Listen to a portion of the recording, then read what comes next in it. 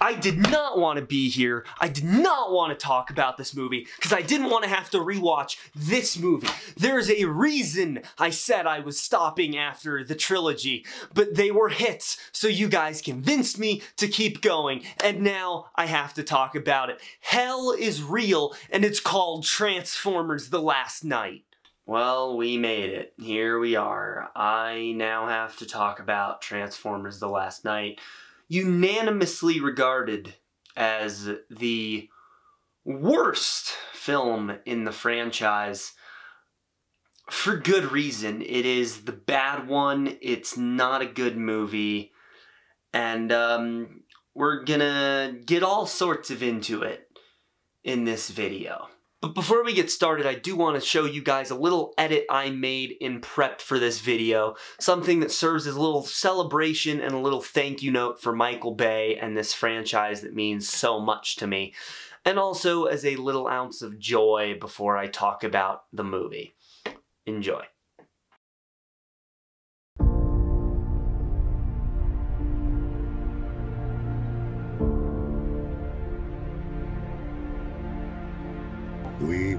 Once a peaceful race of intelligent mechanical beings.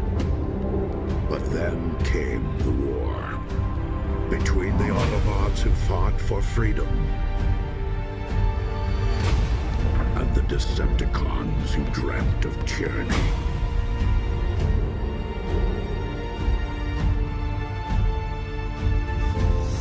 Remember this. You may lose your faith in us but never in yourselves.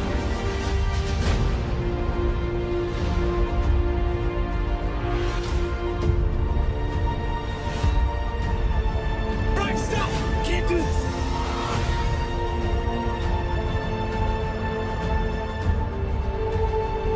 How many more of my kind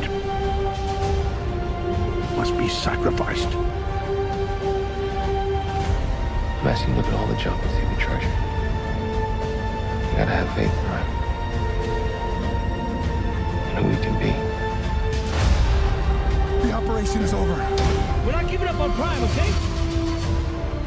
How do you know it's gonna work? Because I believe it. For my world to live.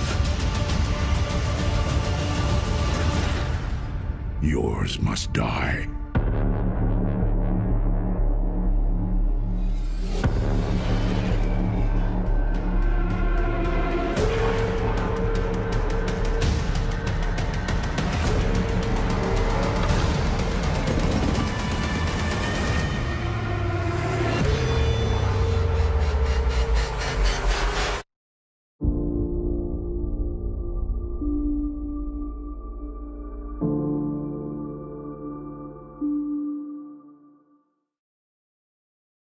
Transformers The Last Knight was the fifth and final Transformers film to be directed by Michael Bay.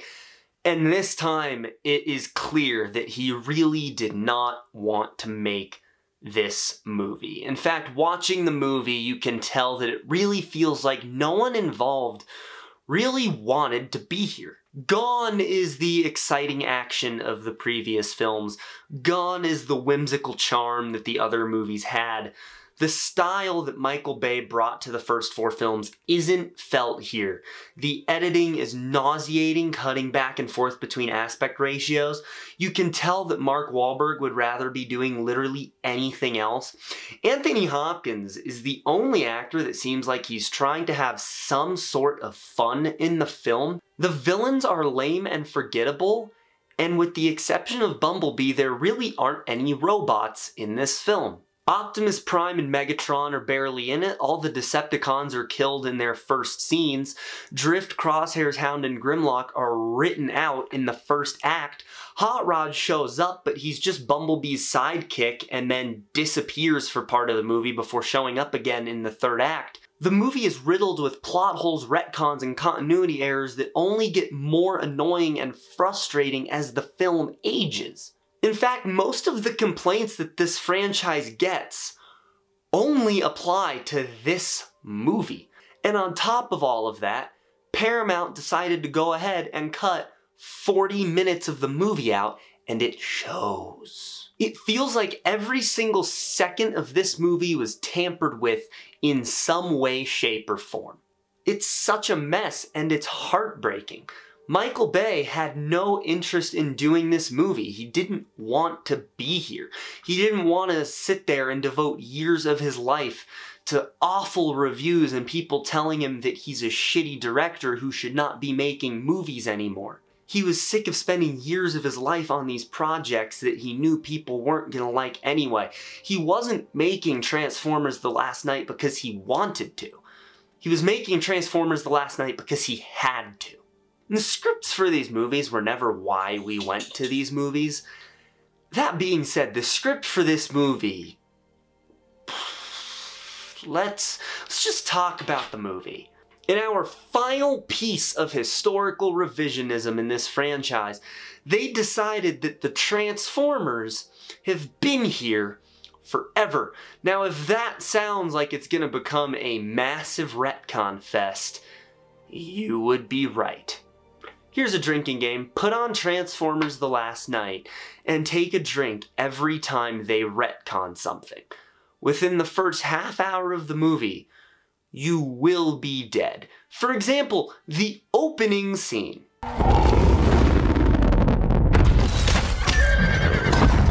The opening scene, and I'm being completely serious here, truly is the best scene of the movie. It goes downhill very quickly after that, but the opening is pretty fire. The writers this time around, which is a completely new group of writers, it is the first movie in the franchise that does not feature previous writers on the movie. We have an entire new group of writers, this time consisting of Art Marcum, Matt Holloway, and Ken Nolan with a story credit for Akiva Goldsman. I thought he was originally the screenwriter. I guess they bumped him down to just a story credit and had other people write the script. And what you will see is apparently these writers did not do homework because there's no way they watched the first four movies when they wrote this movie. So the writers kick this off with a scene in Dark Ages England where King Arthur is about to go to battle with the Saxons in one of the most instrumental battles ever. King Arthur, not a real person, by the way, just a thing worth noting. Also not a real person is Merlin, who is going on a side quest to go retrieve the Cybertronian knights who live there for some reason to help them win the battle. And I will say my favorite thing about this is that it made me realize that Michael Bay would excel if you gave him $100 million to make a movie that's entirely set in the Dark Ages it would go so hard and I would be there first showtime. So the opening hits us with a metric shitload of information. I mean, we already have King Arthur and Merlin, two completely fictional people actually existing and Cybertronian knights who are bestowing a staff upon Merlin to help him win the battle, and we are three minutes into the film. Again, this film was sold on the idea that the Transformers have been here forever, something that Optimus and crew didn't seem to really have much knowledge about when they landed in 2007 looking for Sam Witwicky's glasses. The cracks have already begun to show. But this scene does slap pretty hard. I always thought it was a cool idea that Merlin wasn't actually a wizard, he just had the staff. And because it let him summon Cybertronians, everyone just kind of thought he was a wizard.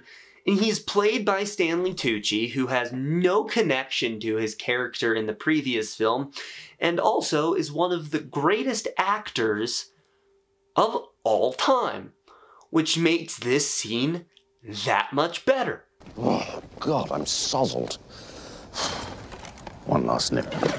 But Merlin goes to talk to the knights in what I consider to be the only truly great dialogue exchange in the movie, and he's pleading with them to help and says one of my favorite lines in the entire franchise. I know your world was destroyed. I'm sorry. But please don't let ours die too. At which point the knights give him the staff that history will come to know as the Staff of Merlin. They all combine into this giant metal three-headed dragon named Dragonstorm who looks sick, and they all charge into battle to go help King Arthur win. Now as cool as that sounds, we have to remember that according to myth, King Arthur lost the war. Meaning that with a giant Cybertronian indestructible dragon, he still lost to people that only had bows and arrows. In this opening scene, you get to see one of the most talked about issues with this movie. So talked about, in fact, I'm sure you picked up on exactly what it is just off me saying that. And that is the constantly changing aspect ratio. This is the only movie that I like watching on a smaller screen purely because it makes this shit less nauseating. Most filmmakers would pick certain cameras for certain scenes. Christopher Nolan is someone who is really good about this. If you watch any of his movies, Interstellar actually being probably his best example of this, he'll use just a normal format for a lot of the scenes, and then for some of the bigger scenes, like when they're exploring the planet or when they're doing the cornfield chase, he'll switch it up to an IMAX camera so you get a fuller image.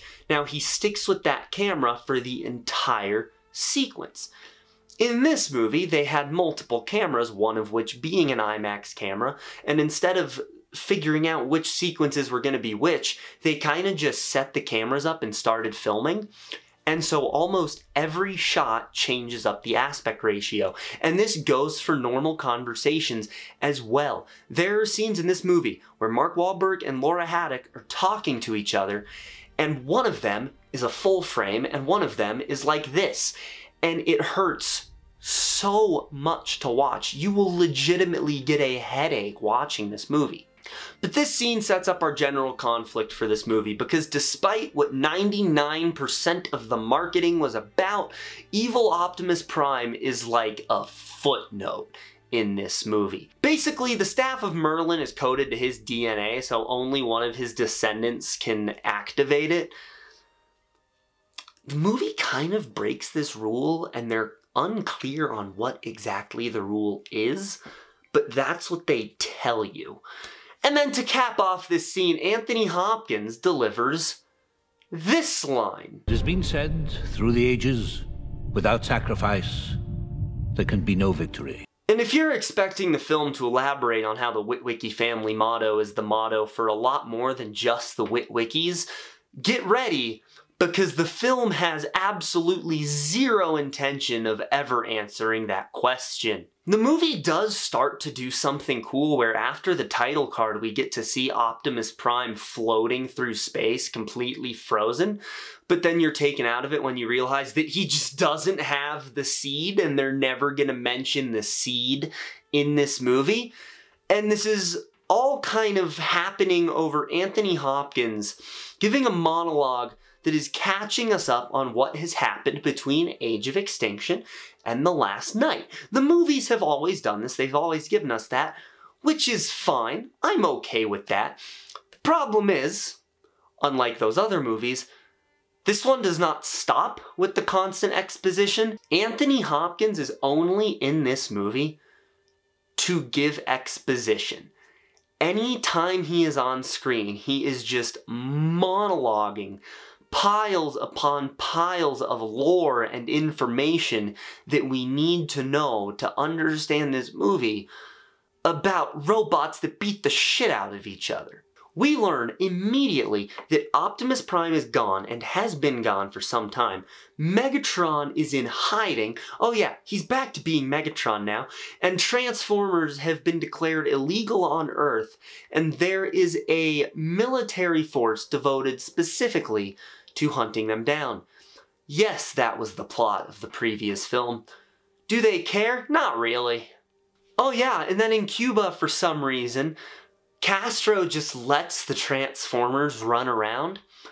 This movie came out in summer of 2017. Fidel Castro died in fall of 2016. So Castro was in fact not letting the Transformers just run around Cuba.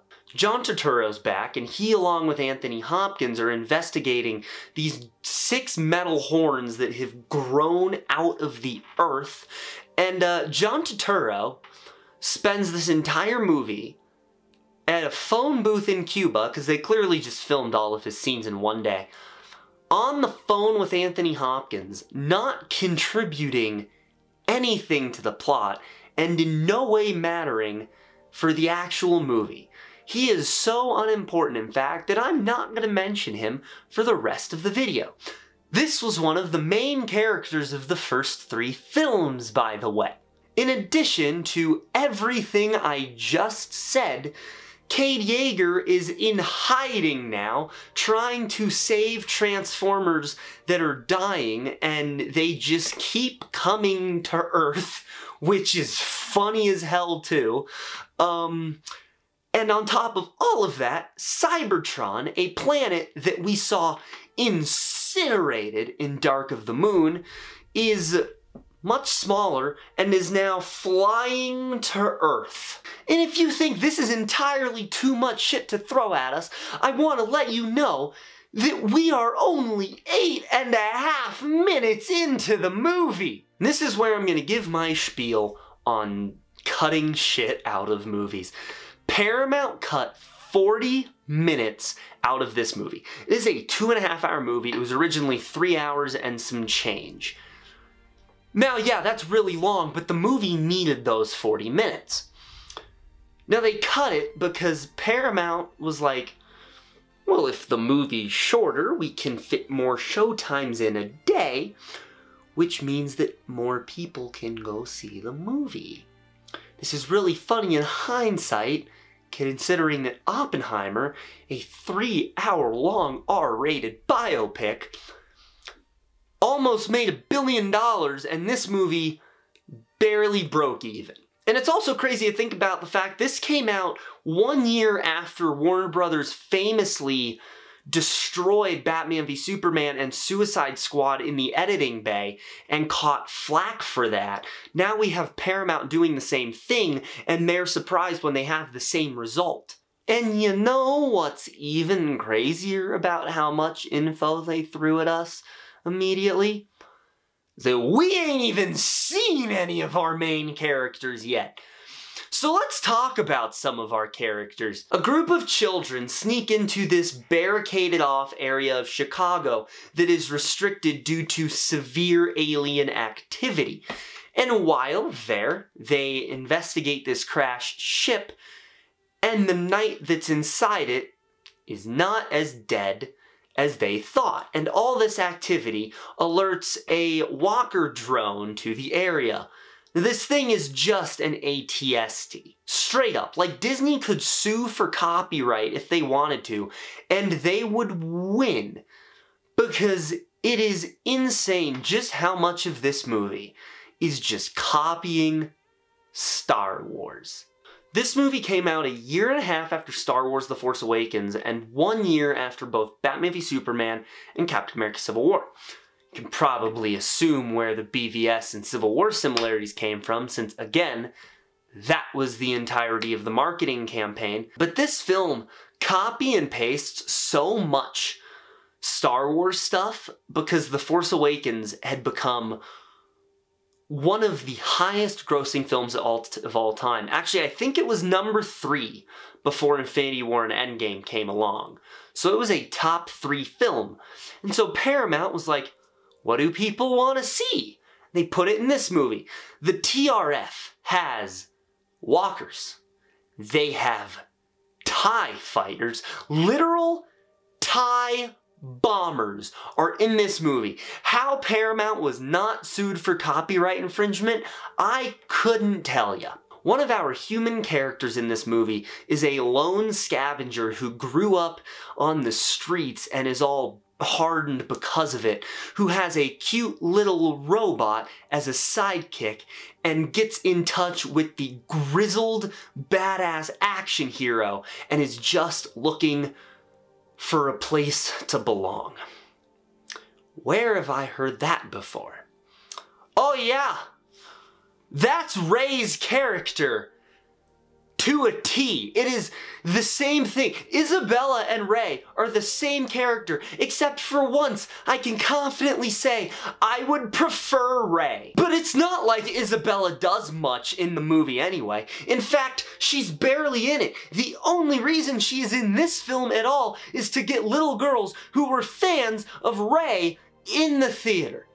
Immediately after this, we meet the head of the TRF, who orders an orbital strike on this one harmless Autobot who's just trying to protect these children. Now, I want you to remember that they order an orbital strike against a harmless robot, because it's gonna be something I bring up later. But what happens immediately after this? Marky Mark and Bumblebee, our actual main characters of the movie, finally show up to save the day. And you know what? Hats off to them for acknowledging that no one liked Bumblebee's design in Age of Extinction because they send him back to his actual good design that he had in the first three movies and the start of Age of Extinction, which is much better. He is a new Camaro this time, and everything in this movie, for every good thing, there are like 18 bad things, because as cool as it is that Bumblebee is back to looking good again, they had two different Camaros for Bumblebee. Sometimes his doors open to the side, sometimes his doors open up. They didn't even pay attention to which Camaro they were using. That's how little effort was put into this. So they save all the kids, and on their way back, we learn that Cade Yeager's like the most wanted dude on planet Earth. Now, don't worry about really remembering that because it comes up in certain points in the movie, but to say that it's actually an important thing in the movie, um, would be a stretch. It's more of just a thing that happens so that we can have action sequences every once in a while. But Cade was not actually here to save these children, this is where you really gotta bear with me, because this is where stuff gets weird. He was there to save the dying knight that those kids found like 37 seconds ago, which he ends up failing. But the knight hands him a Cybertronian talisman that Cade declines, and then after the knight dies, the talisman sprouts legs and follows Cade around. And as if Anthony Hopkins and Cogman don't just say it to you, it is at this point that it becomes clear that the titular last knight is not Optimus Prime, it's not Megatron. It's not one of the actual knights. It's not even Bumblebee. It's not a Cybertronian of any kind. It's Cade Yeager. And here's where things really start to get problematic if they weren't already. We know that the Knights exiled themselves to protecting the Staff of Merlin to prevent Quintessa from ever getting it. We learn later in the movie that the Staff of Merlin is housed at this ship that is buried underwater off the coast of England. This knight is in Chicago. Do you see the problem here? This is also a good time to remind you that we are only 17 minutes into the film. We have met Arthur, Merlin, Isabella, Squeaks, gotten a glimpse of both Anthony Hopkins and Cogman. We've been introduced to a new type of Transformer killers. We have been introduced to a new type of Cybertronian. We've learned that Optimus Prime is gone, Megatron's in hiding. We've gotten a glimpse of Barricade. We've learned that the zombie Cybertron is on the way to Earth. There are horns sticking out of the earth. Cade and Megatron both know something big is happening. John Turturro and Anthony Hopkins are both researching what these horns are. We have been reintroduced to Cade and Bumblebee, who can now just disassemble and reassemble himself at will now. How does it work? I don't know. The movie doesn't show how it happened. The movie doesn't explain how it works. They don't allude to how it works, and they never will. And right after all of this, we are reintroduced to William Lennox. And as much as I would love to praise the fact that they put William Lennox in this movie in an actual supporting role, I can't because for some reason, the guy who was running Black Ops missions with the Optimus Prime is now on the team of people that kill the Transformers. What even is this movie? We are not 20 minutes in, and my head already hurts. I was gonna calm down. I really was. I was gonna take a break, I was gonna breathe, I was gonna calm down, but immediately after this, we are reintroduced to Megatron! And at least they do something cool, where everyone is waiting for voice authentication to confirm that Megatron is the guy whose signal they intercepted, but Lennox picks up on it immediately because the voice still lives in his nightmares. That's cool, I guess. I can hear it in my nightmares. Megatron. Waiting for authentication. It's him. I am gonna take a break from complaining to actually praise something. Megatron's design in this film is sick as shit. It might just be his best design. He's back to being a jet. He has these side pieces on his head that fold down to create his battle mask and they even gave him the giant arm cannon. On top of that, he has this cool sword axe combination. And then because they're doing the thing in this movie where they want Optimus and Megatron to look like knights, Megatron looks like this ancient warrior knight. And when you combine all of these things together, it makes him look like a monster. You might notice that both Megatron and Optimus Prime have red markings down their faces in this movie, meaning that they are both servants of Quintessa. But don't worry, the movie's not going to do anything remotely interesting with that concept. In fact, Optimus and Megatron in this film are only on screen together for about four seconds. Are you guys keeping up with this at all? Because I'm trying to make this easy to comprehend and I can assure you, I have no clue what's going on. 22 minutes into this movie, because they haven't already shoved enough bullshit down our throats, we are introduced to the Optimus Prime portion of this film. And Optimus really isn't in this movie much, which is kind of a problem, considering he was the only thing they marketed about this movie! My world. What has happened to my world? You were there! You were the one who gave the order! But considering that right after this Optimus blames both Megatron and Quintessa for the state Cybertron's in, it becomes abundantly clear that the writers of this film did not watch so much as a single second of the previous four films when they were writing this film. And Michael Bay had lost interest to say anything about it. Oh yeah, I briefly mentioned Quintessa, because now, after the movie has introduced about 37 movies worth of information to us, do they decide that it is the perfect time to introduce our main villains of the film, Quintessa and Infernicus. Although you don't really have to worry about Infernicus at all. After all, the movie didn't. I'm just gonna knock out Optimus Prime's entire story real quick. So Quintessa humbles him up immediately upon his arrival to Cybertron, brands him with the exact same red mark Megatron has, again, don't worry about it, and tasks him with retrieving the staff.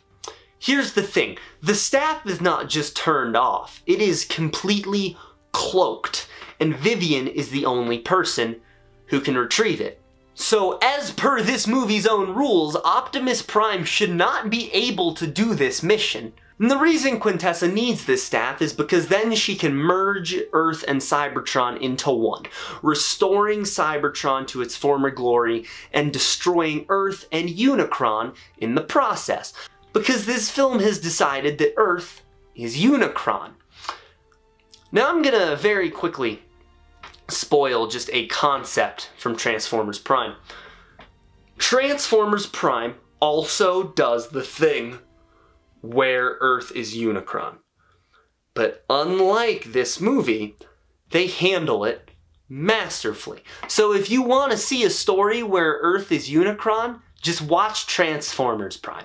And I'm aware that the next film that ended up getting cancelled was the one that was really supposed to explore the idea of Earth being Unicron, as Optimus mentions at the very end of the movie.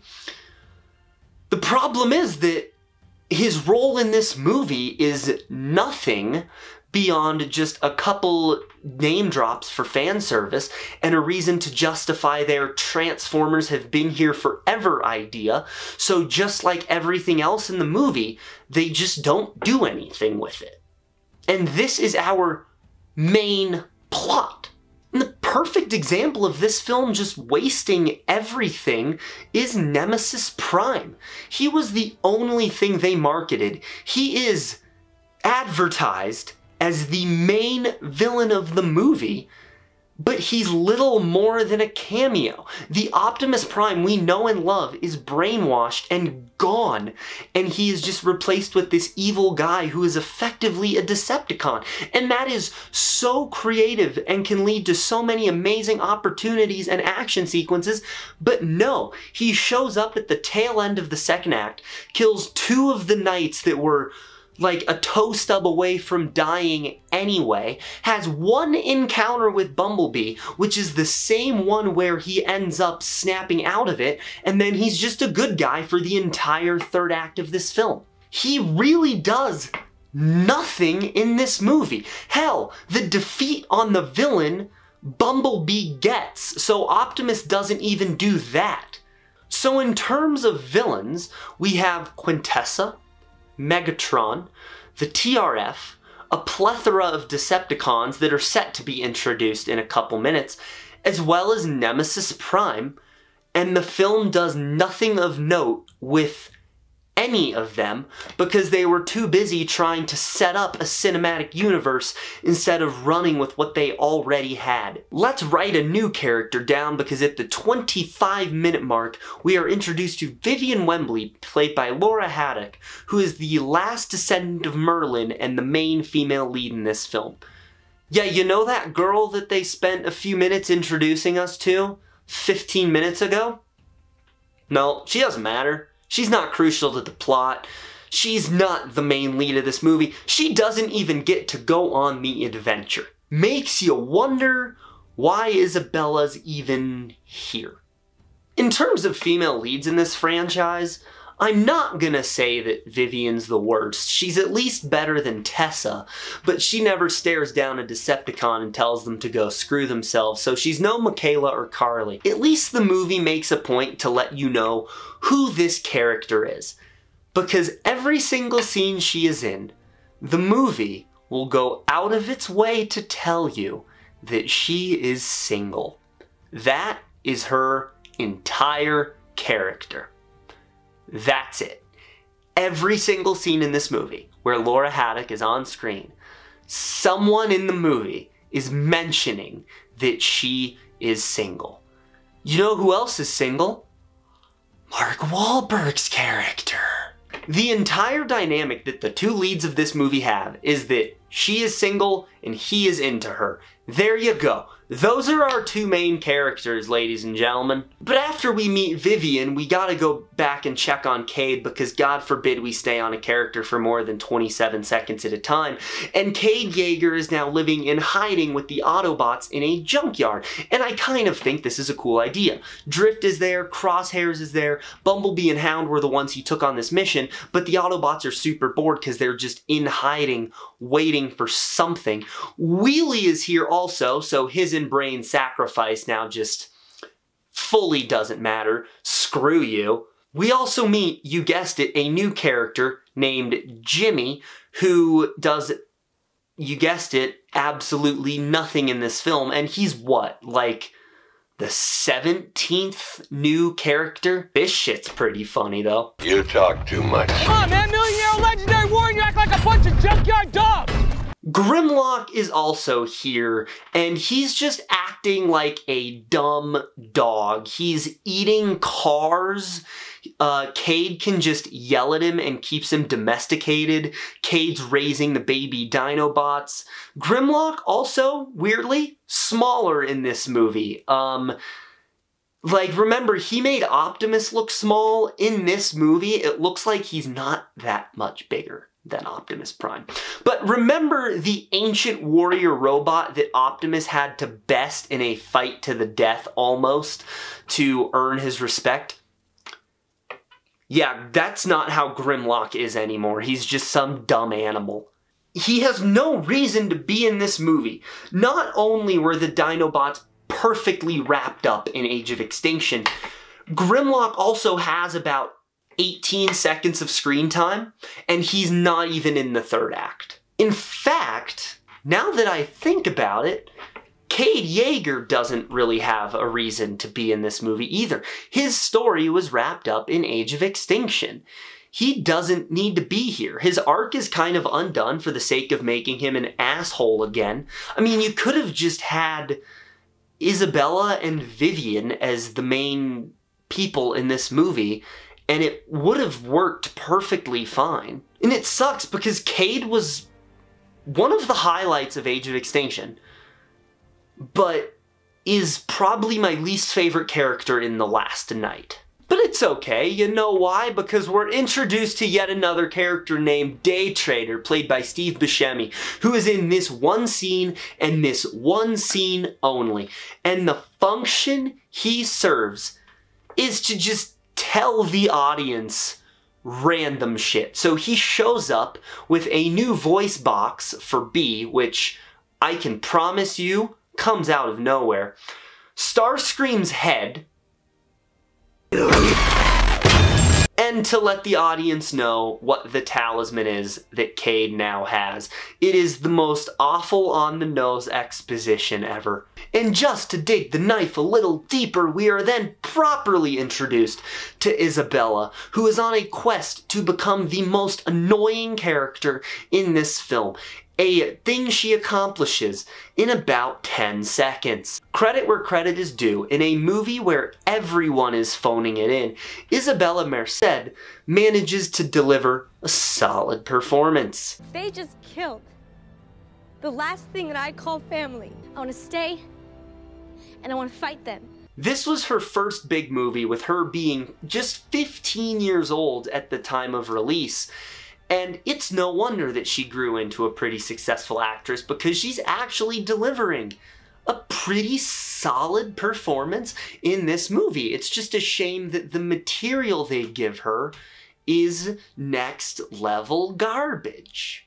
I was ready to actually get on with the main plot of this movie because I've been trying to play catch up this entire video, but I can't do that yet because the movie still has to introduce another character. This scientist dude who immediately takes the crown away from Isabella as the most annoying character in this movie and lets us know that we are on a three day timetable until Cybertron collides with Earth. This is a movie about robots killing other robots. How is there this much stuff happening? The movie is now going to spend its next two hours rushing to a convoluted conclusion in an attempt to wrap up everything it has been throwing at us because for some reason they decided to combine an entire franchise's worth of films into one movie and then pluck 40 minutes out of it, leading to this absolute dumpster fire that I am now talking about.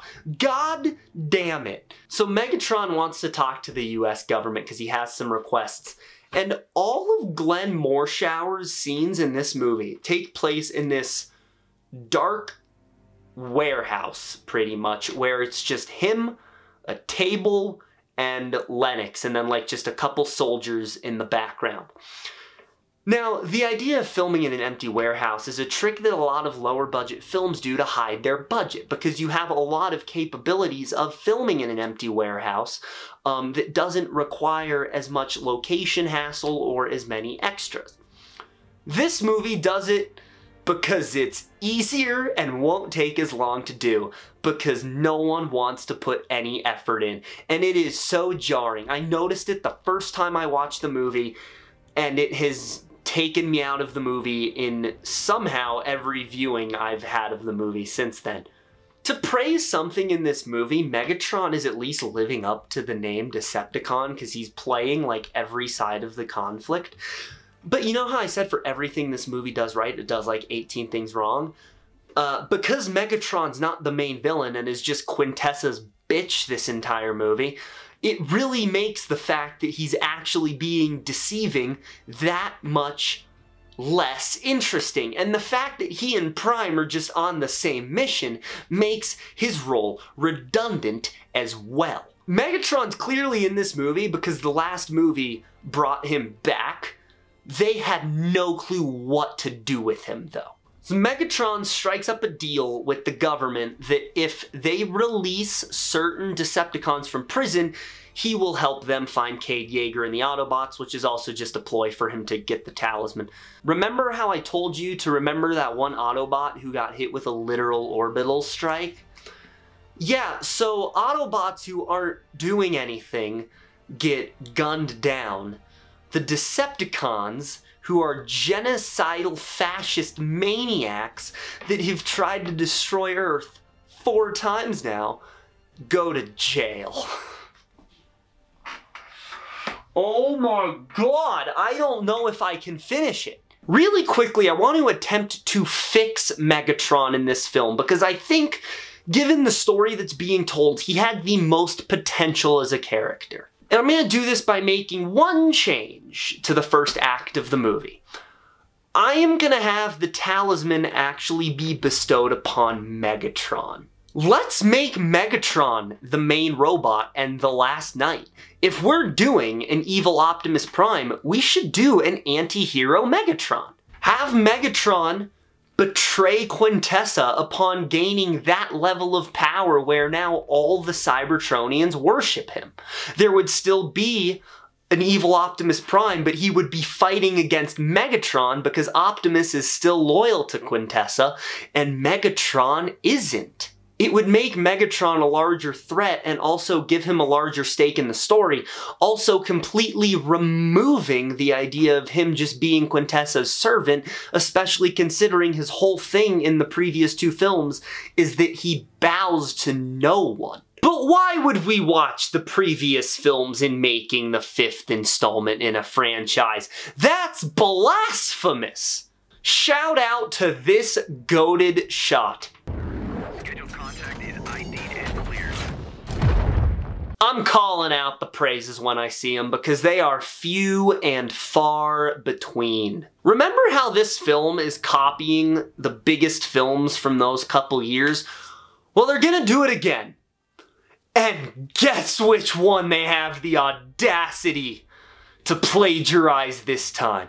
Let's go save the world. I can't wait to show you my toys. You know how many fantastic blockbusters came out between 2014 and 2017? But when they were trimming down this movie, they looked at Suicide Squad, a movie that is criticized in every aspect, including for what this movie is about to do, and they thought, yep, that's how we're gonna do it. What up, fellas? Man, I wanna kill you right now. This is the worst possible way that you can introduce characters. And it's doubly upsetting that this is how they introduce these characters. Because for the first time in this franchise, the Decepticons have personality. Combine the way they're introduced with the way their story wraps up, and it makes it that much more depressing. Megatron's picks are Mohawk, Dreadbot, Onslaught, and Nitro Zeus. He wants to take Berserker, but the government says no and makes him pick again, at which point he ends up taking Onslaught. It's funny until you remember that Megatron was ready to get violent over them questioning his other picks for the team. So there's no reason why he should now all of a sudden just be okay with them not releasing Berserker. It is funny though. It's pretty funny that he just moves on.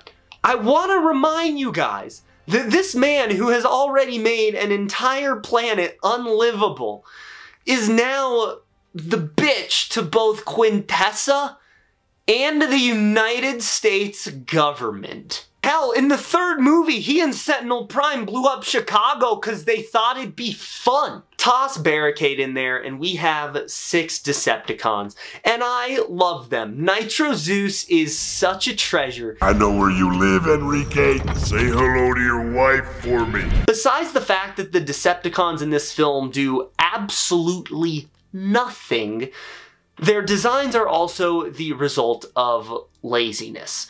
Mohawk is the only original design, and coincidentally enough, is also really small and easy to hide in larger group shots.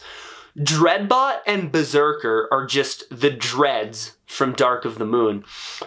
Onslaught is Longhaul from Revenge of the Fallen, and Nitro Zeus is just a slightly modified Shockwave. The laziness is made incredibly more obvious by the fight with the Autobots and Decepticons that points out an issue that plagues every single fight in this movie. They are all only a few seconds long. What the fuck? Where is Bumblebee's body? That is the most obvious prop head I've ever seen. It's not even the same shade of yellow as Bumblebee. It's hilarious because this is the only scene in the movie where it feels like the movie actually wants to slow down and have some genuine drama between the characters but I can't focus on it because I'm seeing a obvious plastic bodiless head sitting between the two actors. At least this part's funny, I guess. This is so exciting. Oh no, this isn't my damn voice. I really wish the escape from the hideout was longer because I always thought it was cool the way they executed it. Hound decides to provide cover fire and buy them some time along with Grimlock while Cade, B, Crosshairs, and Drift all get out of there. I thought that was always pretty sick.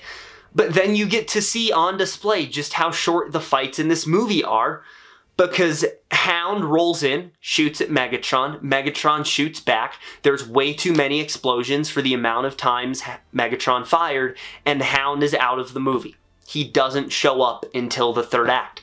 That's the fight. And he's not the only Autobot that falls victim to this, because right after this happens, Grimlock bursts up out of the ground, and the Triceratops, who you don't see in the junkyard at all, he just kind of materializes, decide to take out some of TRF to buy Cade some more time. And I'm aware that Grimlock shows up in the fight in the ghost town, but he's only there for like three seconds. Other than that, Grimlock is out of this movie. The one difference, though, between him and Hound is that at least Hound shows up again. Grimlock does not come back in the third act. There is no reason for him to be in this movie at all, and he was one of the best parts of the previous one, so thanks a lot. But in the ghost town is where the actual fight goes down. Here's how it goes down. I am going to describe it to you, and it'll take me about as long to describe as the actual fight is. Ready? Cade sets off an explosive device on the Decepticons. Grimlock charges in, knocks Barricade out of the way, eats Dreadbot, Drift and Crosshairs team up to decapitate Onslaught. Megatron at this point orders a retreat, and then Mohawk, upon realizing he was left behind, is looking around for Megatron when Bumblebee Combat rolls in, shoots Mohawk, and Mohawk loses his head and his body blows up. That's the fight. That is the fight between the Autobots and the Decepticons. Megatron, Nitro Zeus, and Barricade survive, but they don't show up until the third act of the movie. The rest of this sequence is devoted to Cade running from the TIE fighters. I get that it's been a few years since the ending of Age of Extinction and the start of this film, and the Autobots and Cade are a very, very tight unit, but this is ridiculous. These were Megatron's top draft picks, and they go down like they're just background Decepticons. We devoted time in the movie to introducing them and giving them all personalities. And they are all killed immediately. Then again, they were in human captivity, so maybe they weren't that great to begin with. Alright, we have reached the point where my will to live is restored. My happiness has returned, and I can hold out just a little longer with this movie. Potentially the greatest character in the Bayverse. We've seen him already, he has said a couple lines, but at 56 minutes and 17 seconds, Cogman properly appears. Leprechauns are tiny, green, and Irish, and that is offensive.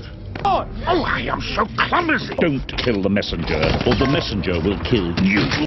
I was making the moment more epic. Welcome to Air Folgan. Please strap in. Turbulence can kill. There will be no snack service on this flight. No drinks, no fun. God, he is the best. The only bad thing about Cogman is that when he's not saying something that's funny as shit, his dialogue makes it abundantly clear that this film has some of the most cliche dialogue you have ever heard. I'm here because of that.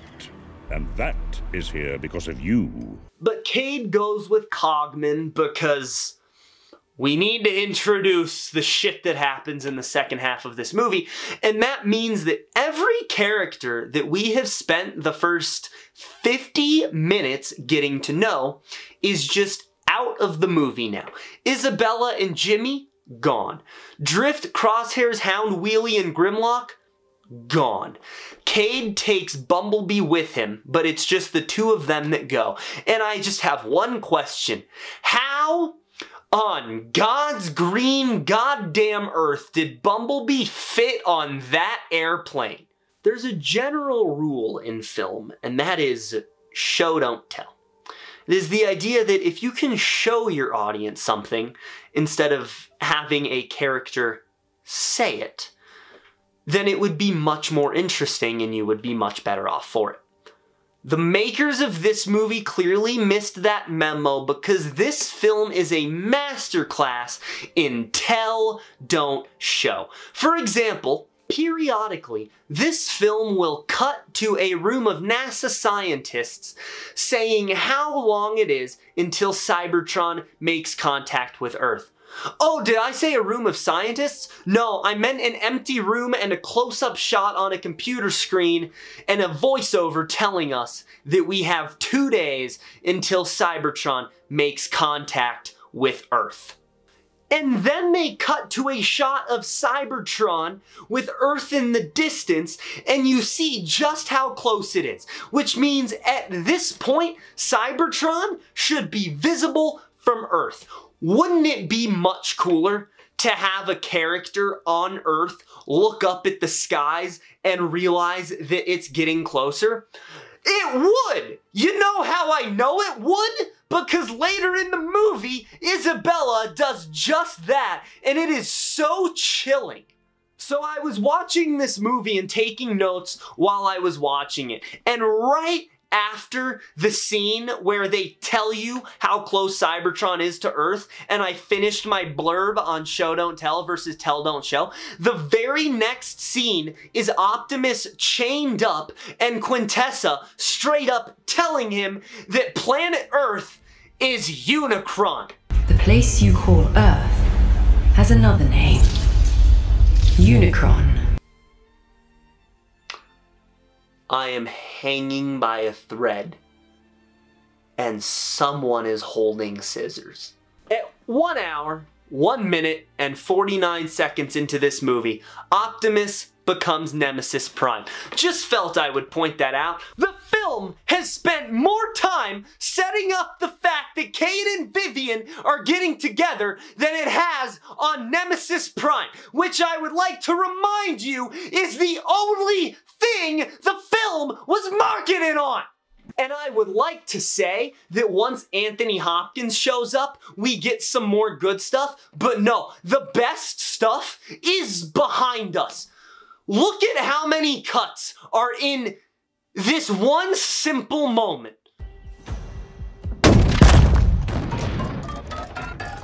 We have guests! I haven't mentioned the editing too much, but those couple seconds are the perfect example of how the entire film is edited. It is horrendous. Every shot is in a different aspect ratio, and we see it from four different angles, none of which are the desirable one. Not only do we get a proper introduction to Anthony Hopkins, who has so far just been teleporting around the planet, we are also introduced to yet another character This one being Hot Rod. In the original G1 cartoon, Hot Rod goes through this character arc to become Rodimus Prime. In this movie, this dude isn't gonna amount to anything. And when they announced that Hot Rod was gonna be in this movie, they also went ahead and announced that he and Bumblebee were gonna be brothers in arms. We are halfway through the movie. We've got about an hour and 20 minutes left. We're about an hour and 10-ish, 10, 15 minutes in. And they are just now introducing Bumblebee's brother in arms. We have not seen Hot Rod in his robot mode yet. He and Bee are just now getting to the same place, and he has not been seen or so much as mentioned at any point in the previous four and a half movies. Despite the fact that he and B apparently have this long-standing relationship. And you would never get the hint in the movie that they're brothers in arms because the only time they're on screen together in the movie is when they're standing next to each other during Optimus Prime's speeches, when they are standing next to each other in their vehicle modes, when Hot Rod throws a temper tantrum about his French accent and smacks Bumblebee on the chest, and when he's very briefly next to Bumblebee in the World War II flashback. We didn't, we, like, they couldn't even give us a brief moment of Bumblebee and Hot Rod speaking to each other. They don't speak to each other in this movie. And Bumblebee gets his voice back in this movie. They can do that. We're just supposed to roll with the fact that the two of them have been friends for centuries, probably. He's also French. The movie does go out of its way to point out that no one can understand him, but that doesn't help the fact that I can't fucking understand him. Je m'appelle Hot Rod. That's what? Hot Rod. As for Anthony Hopkins, seeing a two-time Academy Award winner deliver some of these lines is something else. Yes, but you want to know, don't you, dude? What a bitchin' car she is. She's barking mad. She's an absolute bitch. He is playing a character named Sir Edmund Burton, who is the 12th Earl of Folgan and the last surviving member of the Order of the Witwiccans, a secret society of people that exist to protect the secrecy of Cybertronians. And it truly shows how great of an actor he is that he can make this amount of exposition look good. For every second of his screen time, he is expositing, but he makes it cool. All he does in this movie is exposit to people. Over and over and over. But he makes it look easy. I want to see Cogman again. But I do so very much want to crush his windpipe. We have reached the scene in this movie that I have come to call absolute fucking bullshit. The next three minutes of this movie, and you can time it, manage to retcon and ruin the entirety of the franchise. People always say it is insane how quickly Game of Thrones was able to ruin everything that came before. This has it beat. Again, three minutes. And it makes the entire franchise virtually unrewatchable because anytime you go back and watch the movies, you have to live with the knowledge that everything Anthony Hopkins is about to mention is canon. Again, in three minutes. First off, we learn that a watch that Anthony Hopkins has in his possession is a transformer that killed Hitler. So Hitler didn't kill himself, apparently. He also has statues of Optimus Prime, Bumblebee, and Megatron, but it's their forms from Age of Extinction and The Last Knight. And these are ancient statues, so he wouldn't have artifacts of them. He then tells us about the Order of the Witwiccans. The movie won't tell us how Sam Witwicky is connected to the Order of the Witwiccans. I mean, they have the same goddamn name, but it will show us a picture of both Archibald Witwicky and Sam Witwicky as Anthony Hopkins tells us that he's the last surviving member. So Sam's just dead now. Shia LaBeouf didn't want to come back, so Sam is just dead now. And since when was Sam a member? He had no clue who the Cybertronians were when they first showed up. In fact, the Transformers got more public the longer they knew Sam. The Order also consists of every single famous person to ever exist, some of which Anthony Hopkins mentions, some of which I saw in the background pictures in his study, and I definitely missed a couple because I was not familiar with everyone. There are so many historical figures that were members of the Order of Witwiccans that I will legitimately be reading the list I wrote up on my computer because I cannot remember them all. Strap in for this shit, folks, because it's a page long. Catherine the Great, Napoleon Bonaparte, George Washington, William Shakespeare, Queen Elizabeth II, FDR, Winston Churchill, Harriet Tubman, Albert Einstein, Stephen Hawking, Abraham Lincoln, Frederick Douglass, the Wright brothers, Charles Darwin, Leonardo da Vinci, Mozart, Beethoven, Giotto, Michelangelo, Henry V, Antoine Lavoisier, Gustav Mahler, Edmund Hillary, Teddy Roosevelt, Copernicus, Nikola Tesla, and Galileo were all members of the secret society meant to protect the secrecy of Cybertronians. And we are not even at the worst crime committed by this scene because they decide to show photographic and artistic proof of the Transformers throughout history. If it was just the Cybertronian Knights, I would understand. But it's not. Remember how Optimus Prime landed on Earth and said that they learned all the languages through the internet and they just got here and that Earth is a completely unknown planet? You only have to watch half the first movie to understand that very basic concept of the lore. Nope, that's not the case at all. Optimus Prime fought with redcoats in 1815. I am gonna say that again. I'm gonna get closer. The Optimus Prime fought with the redcoats in 1815. In addition to that, Ironhide was involved with the Redoubtable at Trafalgar. He pulled the ship to shore after it was destroyed. Hound fought in the American Revolution. And by the way, all three of these robots have their vehicle modes from modern day. Optimus is a semi-truck, Ironhide is a GMC, and Hound is very clearly an army vehicle. Drift was a literal samurai, and somewhere in Anthony Hopkins' study there is a poster that has a silhouette of the promotional image of Shockwave on it from Dark of the Moon. In addition to all of this, there are war propaganda posters featuring Hound and Bumblebee trying to get people to join the military. Wow, really fucking secret. Bumblebee and Hot Rod were both on the Devil's Brigade in World War II and killed Nazis. Now, as stupid as that is, given the canon of this very franchise, I would unironically pay fantastic money to go see a movie called Bumblebee Nazi Hunter because that shit would probably go hard as hell.